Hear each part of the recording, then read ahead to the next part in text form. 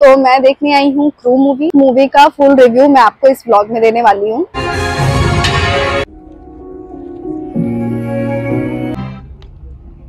Entertainment के नाम पे बहुत सारे अडल्ट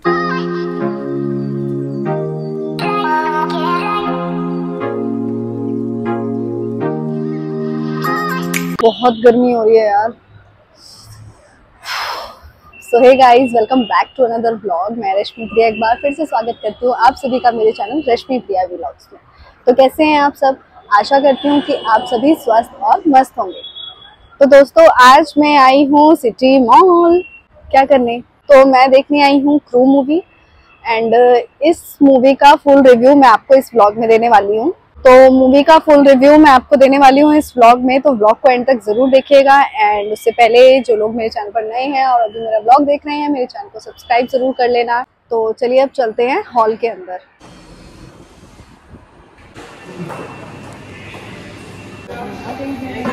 के अंदर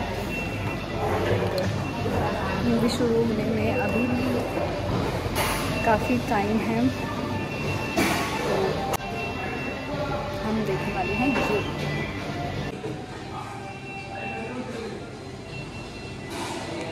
ऑडी फाइव में देखने वाले हैं क्रू एंड ये मडगांव एक्सप्रेस ये बड़े मियाँ और छोटे मियाँ तो आप ये भी देख सकते हैं। मैंने तो नहीं देखी है। एक्चुअली मुझे मूवीज़ बहुत देखना पसंद नहीं है। सो मूवी स्टार्ट होने में भी अभी टाइम है अप्रॉक्स 10 से 15 मिनट एंड ऑडी में जाने के बाद भी 10 से 15 मिनट का एड देखना पड़ता है.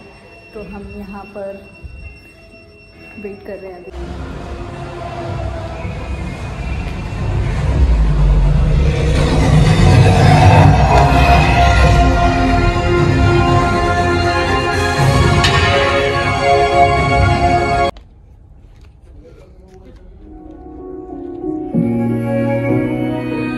नहीं नरसंहार होगा।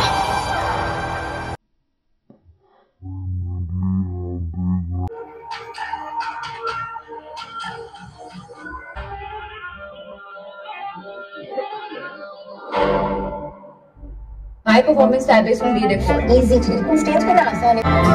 आज भी सबसे खूबसूरत हो तुम।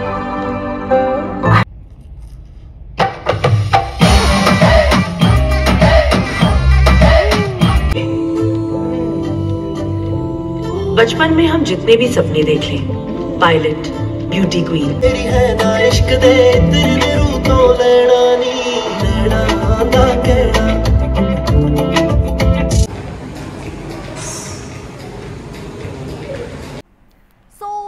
के बाद मैं आ गई हूँ घर और अब टाइम है मूवी के रिव्यू का। तो शुरू करते हैं। मूवी में है मेन तीन कैरेक्टर्स तब्बू, करीना कपूर एंड कृति सनन, जो कि काम करते हैं कोहिनूर एयरलाइंस में और इनकी एयरलाइंस हो गई है बैंक जिसकी वजह से इनकी छः महीने से सैलरी नहीं आई है और इसकी वजह से इनकी घर की हालत हो रही है थोड़ी ख़राब।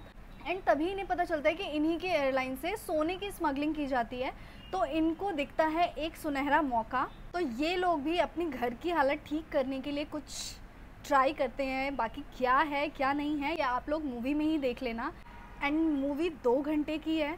एंड इस दो घंटे में आपको, मुझे नहीं लगता कि कहीं पे भी बोरिंग सा फील होगा। हाँ इंटरवल के बाद में आपको थोड़ा सा स्लो लगेगा, पर उसके बाद थोड़ा सा ग्राफ ऊपर जाने लगेगा। तो ठीक है ठीक ठाक है। अब बात करते हैं मूवी की कॉमेडी की, जिसका पूरा जिम्मा उठाया है तबू ने। मतलब इतनी सीनियर है, इतनी एक्सपीरियंस्ड है तो वो दिख रहा है स्क्रीन पे।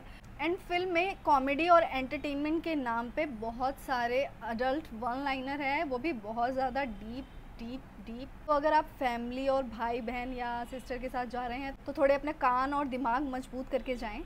एंड ऑल ओवर मेरे को मूवी अच्छी लगी। मतलब मैं ये एक ऐसी मूवी नहीं है कि जिसको मैं बार बार देखूँ। पर हाँ अगर आप जाते हैं तो आपका दो घंटे का एंटरटेनमेंट अच्छे से होगा। एंड जितना एक्सपेक्ट किया था, उससे काफ़ी ज़्यादा अच्छी है। एंड मूवी में आपको इन तीनों के अलावा कपिल शर्मा एंड दिलजीत भी देखने को मिलेंगे। तो ऑल ओवर जो मूवी है, वो एंटरटेनिंग है। एंड एक चीज़ मेरे को थोड़ी सी अजीब लगी कि जो कृति सनन का कैरेक्टर दिखाया है, वो कभी बहुत ज़्यादा स्ट्रॉन्ग बन जाती है, कभी बिल्कुल डरपोक बन जाती है। तो वो मेरे को थोड़ा सा लगा। एंड लास्ट में जब ये लोग कुछ कर रहे होते हैं तो बहुत ही ईजिली दिखाया है कि मतलब अगर चोरी भी कर रहे हैं तो बहुत ईजिली हो रहा है, जैसे सब कुछ उनके हाथ में हो। ऑल ओवर जो मूवी है, बहुत ज़्यादा एंटरटेनिंग है। तो मेरी तरफ़ से मैं इस मूवी को देना चाहूँगी सेवन आउट ऑफ़ टेन बाकी आप लोग जब ये मूवी देखने जाएँ तो आपके क्या रिव्यू है इस मूवी को लेके प्लीज़ कमेंट सेक्शन में कमेंट करके ज़रूर बताएँ। ब्लॉग पसंद आया तो प्लीज़ लाइक ज़रूर करें और अपने दोस्तों के साथ शेयर भी करें and don't forget to subscribe my channel क्योंकि सब्सक्राइब करोगे तभी तो ऐसे अच्छे अच्छे ब्लॉग आपको आगे भी देखने को मिलेंगे। तो मिलते हैं एक नए ब्लॉग के साथ, तब तक के लिए bye take care and keep watching Rashmi Priya blogs